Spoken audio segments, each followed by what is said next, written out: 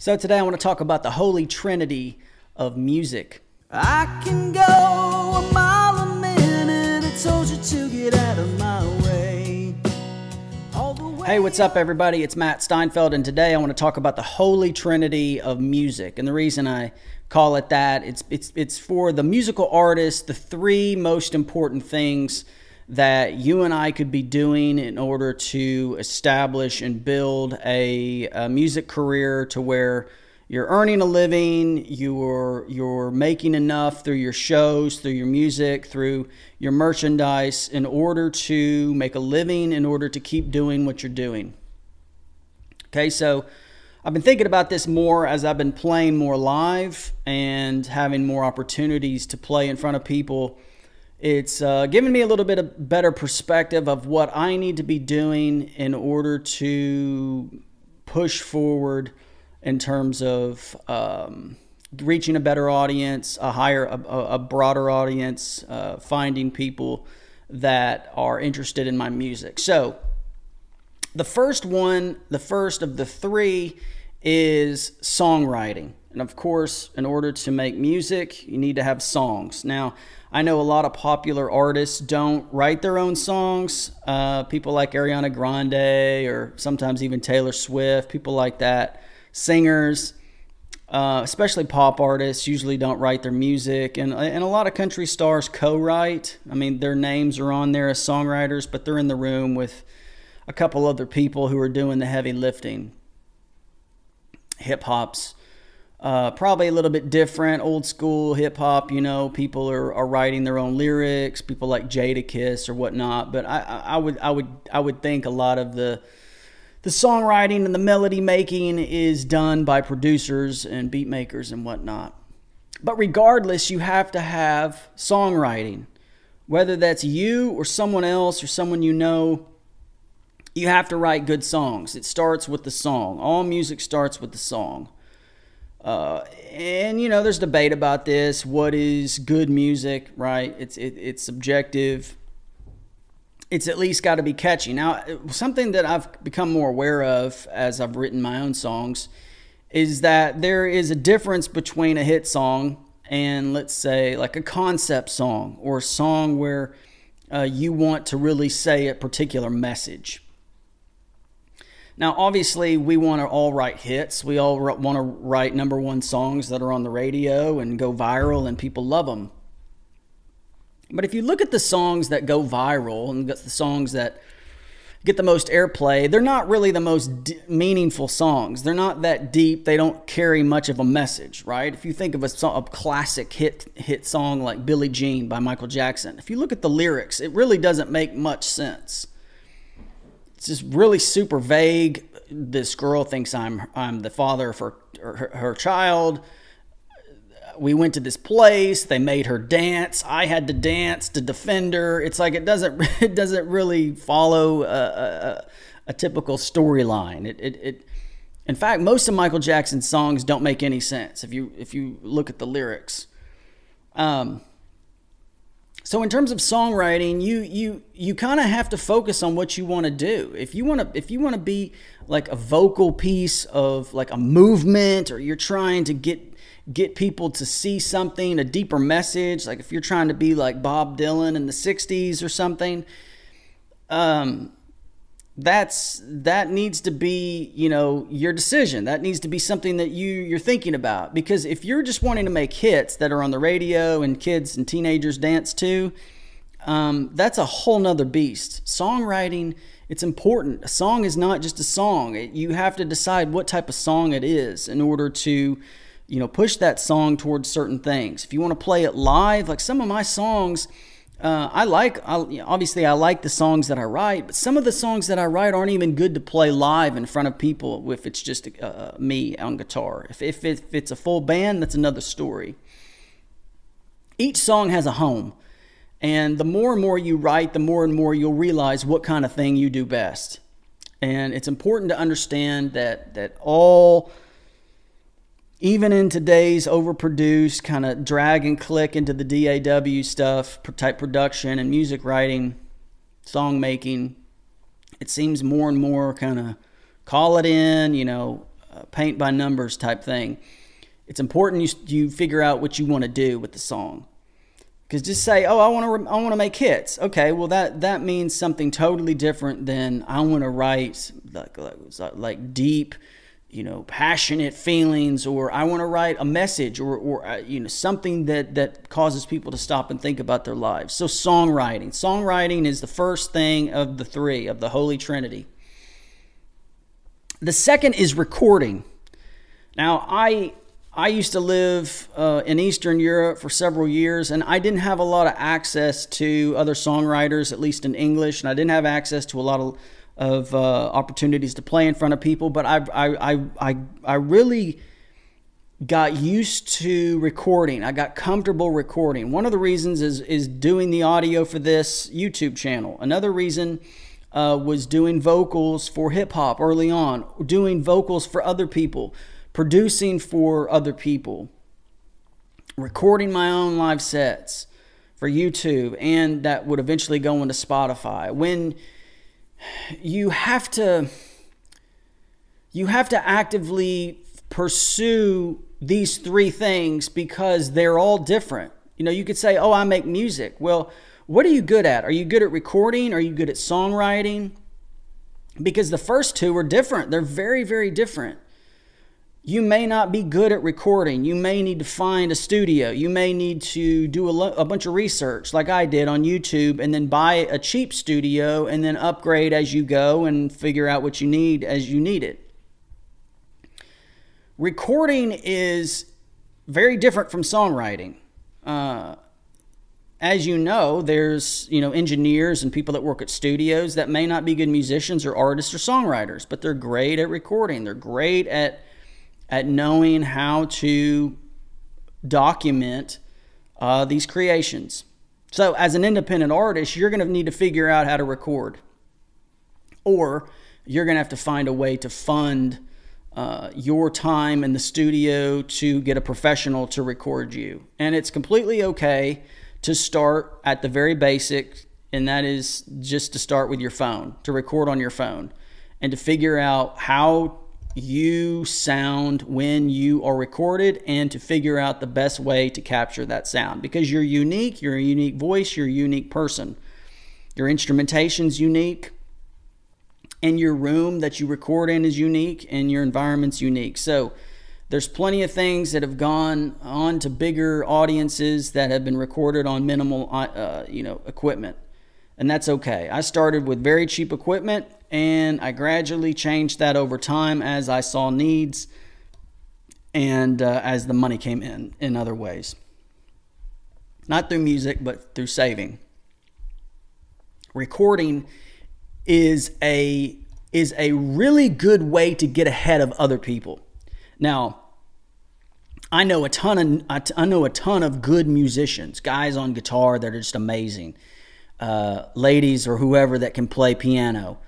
Um, I even know really good songwriters. But if they don't know how to record and they don't have access to a studio or access to the means to record, then really it doesn't matter because no one will ever hear it.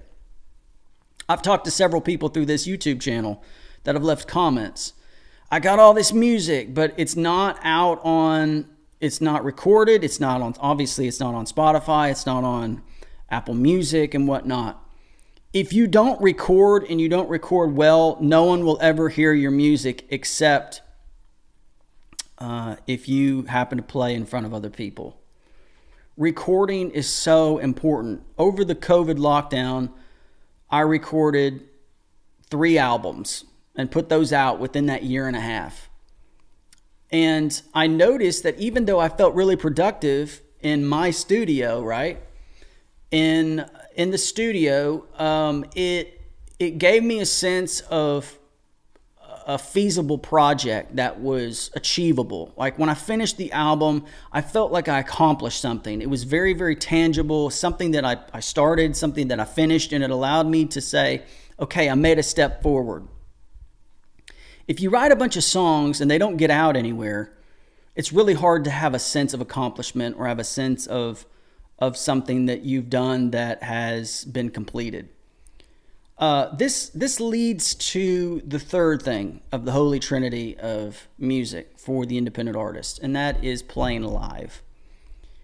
When I was living in the other country, working on um, you know my my recording and songwriting, one thing that I was really afraid of is playing live. And if you've noticed anybody that gets famous quick, they are thrusted into the spotlight because they're famous now and these people often will, will perform and it's awful because it's really easy to record and sound good in the studio if you have all the time in the world to record, you know, 100 vocal takes. And if you have like auto tune and other things that are that are in the production process that are helping you sound good, it's really hard to get your craft going live, playing live, feeling comfortable. I've talked about this in another video about playing at my first festival going through sound check, knowing which songs of yours sound the best live, which ones not to play, which ones are not good in acoustic setting, which ones are not good at like uh, if you're in a coffee shop, right? You're not going to want to play this really loud rock anthem. If you're in an arena playing to a bunch of people and, and you and you want to get them hyped up, you don't play super song sappy ballads figuring out all these things takes experience and it takes knowing what to do based on what you have experienced yourself. So, it's really, really important to figure this out. It's really, really important to book yourself. If you're an independent artist, you probably don't have an agent. You probably don't have a marketer. You don't have a promoter. You don't have a manager. That's fine. You don't need one yet. If you're not playing shows, you don't need one. But how do you start playing shows? Well, one thing that I've done is since I've moved back to the States is I've started to call all the live venues. Now, what I've noticed is that there's a big difference between certain venues. Venues are often worried about the bottom line, meaning how much money they're going to make. They ask you, they, they say, How many Spotify numbers do you have? Not, send me your Spotify links. Not because they care about the music, they care about how many followers I have. They care about how many followers you have on Instagram. It's very, very petty. It's like it's like middle school. They want to pick the cutest girl and get, date the cutest girl or the cutest guy because they want to be popular. They want to make the most money. They want to get the most feedback and the most, you know, return on their money because they're going to pay you. So, if you can't get 60 people, 70 people, 100 people to come in and buy drinks and buy food and buy tickets, it's not worth it to hire you. So how do you get a place if if it's all based on reputation and on what you what numbers you can pull? Then you need to figure a way to play in order to get you an in through someone else. So maybe it's it's good to play an open mic. Maybe it's good to play with a friend who is doing a show. Ask if you can open for them. Develop relationships. Find out who the booker is and if you have good enough music on the on the spotify's and then on the amazons and on the apples you can convince them that you're good enough to play even if you don't have a history of playing live. What the point is is you need to find we need to find ways to play in front of people that are low risk that get us confidence get us experience doing what we do live and then as we build these relationships, as we build local pockets of interest, then we can maybe collaborate with some other artists and put on a show together or a showcase or a songwriters round.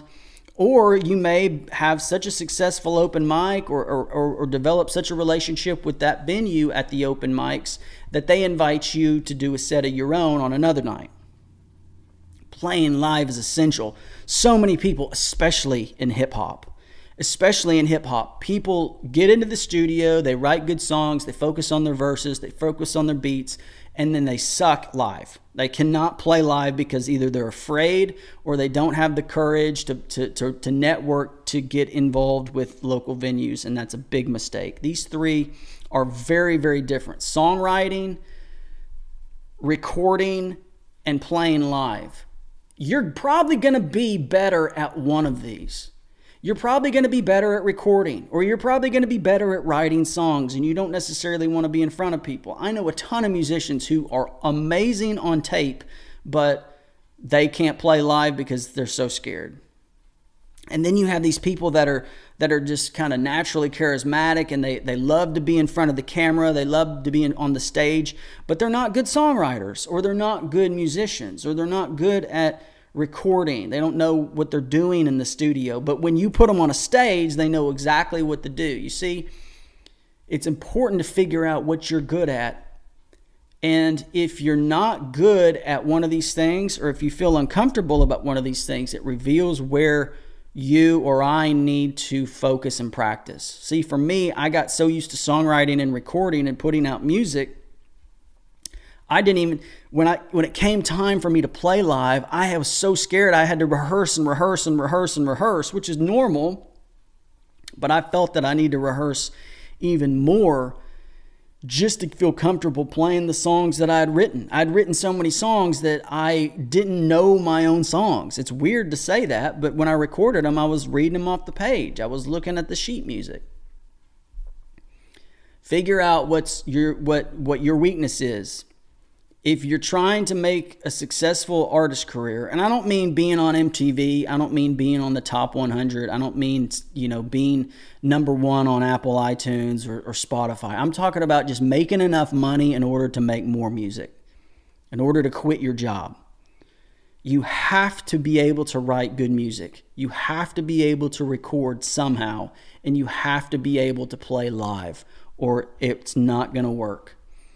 And I know that there's some people in the comments that are like, well, so and so didn't play live, or so and so didn't have uh, their own access to a studio, or so and so just made a beat and they went viral, or so and so, you know, the story goes on and on. Yes, there are exceptions, but most of those people are anomalies. Most of those people are, are like lightning striking twice in the same place. It's just rare. And yes, there's examples of that, but that's not usually how it works. And the thousand people that watch this YouTube channel, that's probably not going to work for all of us. It may happen to one of us, but that's not normal. What's normal is focusing on these three things and getting good at them. So let me know what you think in the comments. I'd love to hear your feedback. I always appreciate uh, the ideas and the stuff that are shared there. So let me know. As always, thank you so much for watching. Please consider subscribing, and we will see you again next time. All the way up on the.